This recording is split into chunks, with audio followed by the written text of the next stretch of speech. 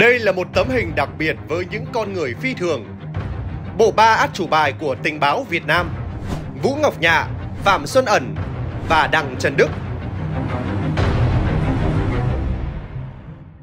Là sao mà anh suy nghĩ cái cách suy nghĩ của địch hành xử cái cách hành xử của địch từ năm 1950, Thiếu tướng tình báo Đặng Trần Đức được tổ chức giao nhiệm vụ thâm nhập vào các cơ quan của địch, tìm kiếm và cung cấp hàng ngàn những tài liệu quan trọng cho cách mạng.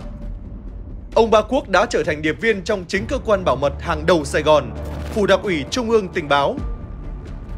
Tôi đã nắm được 35 hồ sơ là người của ta đó, làm việc cho địch hoặc là những biệt kích địch phái ra miền Bắc nó nằm trong một cái kế hoạch nó gọi là kế hoạch thành tàn lành mình chuẩn bị để quánh một đợt hai thì có một cái tay sĩ quan cao cấp của mình nó ra, nó hàng giặt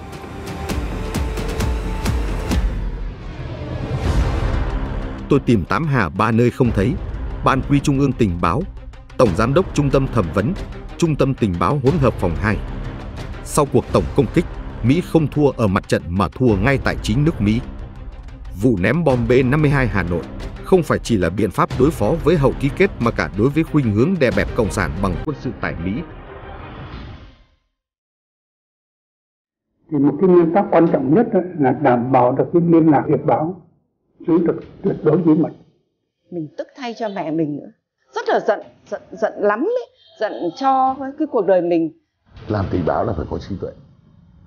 Nhưng thứ hai là cái sự trung thành với đất nước, cái lý tưởng hai cái đó phải có trong đầu một người tình báo làm sao ông có thể đảm bảo an toàn trong suốt 20 năm trời, trong một nơi mà mọi sai lầm đều phải trả giá bằng tính mạng?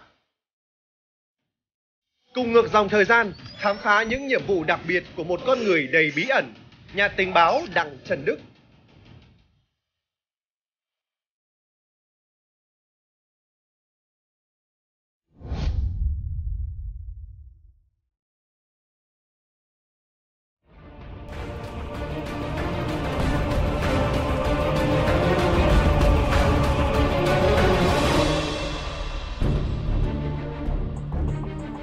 Với những cán bộ làm công tác tình báo, lòng tin luôn là thứ quý giá, đặc biệt là khi rơi vào tay kẻ thù.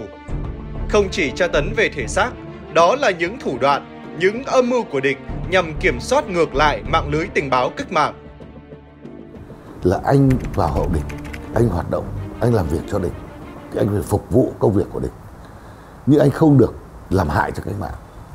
Nhưng khổ tâm thứ hai là khi nhìn thấy đồng chí mình bị địch bắt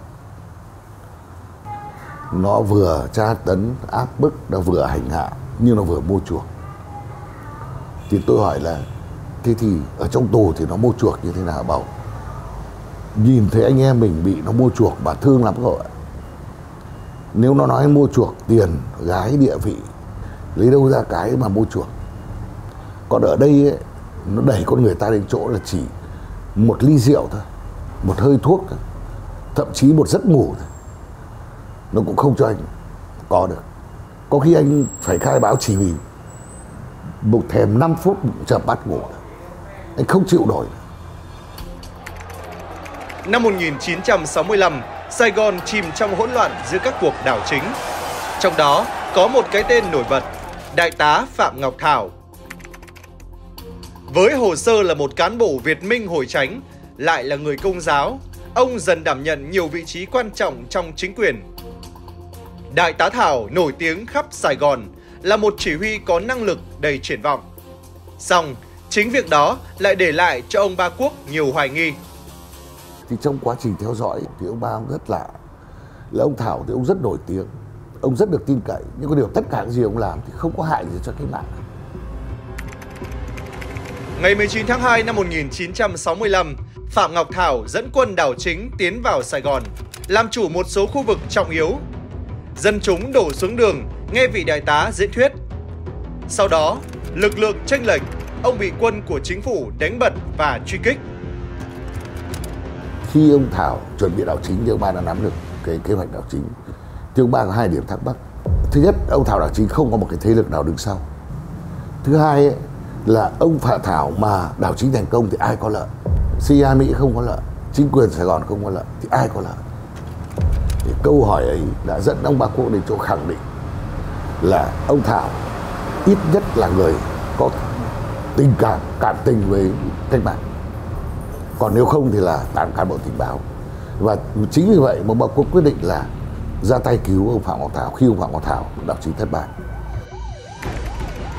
Ngày 17 tháng 7 năm 1965, Đại tá Phạm Ngọc Thảo bị quân đội Sài Gòn vây bắt gần Biên Hòa.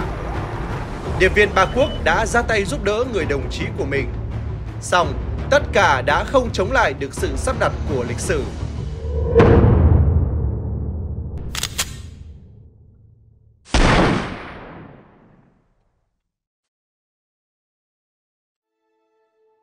Nhiều năm sau, danh tính thực sự của đại tá Phạm Ngọc Thảo mới được công khai. Ông được truy tặng danh hiệu Anh hùng lực lượng vũ trang nhân dân, là nhà tình báo chiến lược hoạt động đơn tuyến xuất sắc của quân đội nhân dân Việt Nam.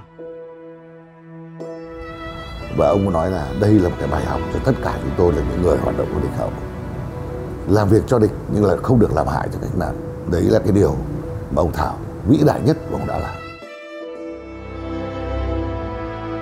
Không ai nói ra, nhưng những phẩm chất nghiệp vụ tình báo đã giúp điệp viên Ba Quốc phán đoán đại tá Phạm Ngọc Thảo là người đồng chí của mình. Chính tư chất đặc biệt này đã giúp ông đánh giá và vượt qua những nguy hiểm sau này.